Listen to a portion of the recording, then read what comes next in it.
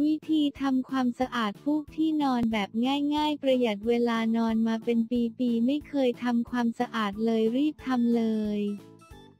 เราใช้ที่นอนกันอยู่ทุกวันอย่ามองข้ามเรื่องความสะอาดไปเสียหลักเหมือนจะยากในการยกที่นอนมาทำความสะอาด แต่วันนี้เรามีเทคนิคดีๆ มาบอกกัน รับรองว่าสะดวกขึ้นเยอะเลยค่าฟูกที่ใช้นอนกันอยู่ทุกวันนี้ รู้หรือไม่ว่ามันอาจเป็นแหล่งเพาะเชื้อโรค แบคทีเรียไรฝุ่นต่างๆ ได้เวลาทำความสะอาดมันกันแล้วละหนึ่งใช้เครื่องดูดฝุ่นดูดฝุ่นและเศษผิวหนังที่ตายแล้วออกก่อน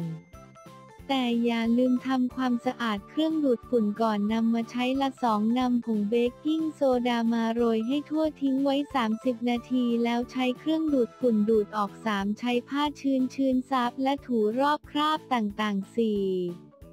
คราบสกปรกฝังแน่นให้ใช้เบกกิ้งโซดาผสมเกลือและน้ำนำผ้าจุ่มหมาดๆแล้วถูบริเวณคราบ หรืออาจจะใช้ไฮโดรเจนเปอร์ออกไซด์ที่ไว้ล้างแผลผสมกับสบู่แล้วถูบริเวณคราบดังกล่าวก็ได้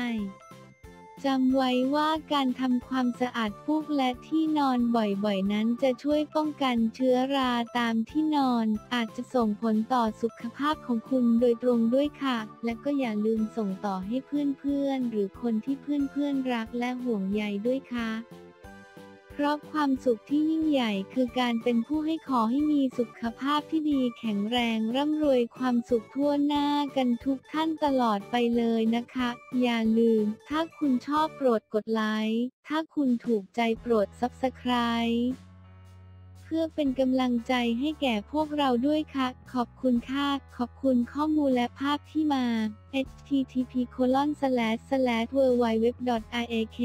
s u k a p a p com slash 2016 slash 07 slash bl dot dot dot http colon slash slash share 3951 dot ssing dot com slash chan 5909 ข้อมูลจาก ขี่อีดูลิงอ่านข้อมูลรอเพิ่มเติมได้ที่ https colon slash slash goo gl slash cyrmv และ https colon slash slash goo gl slash tcfpuf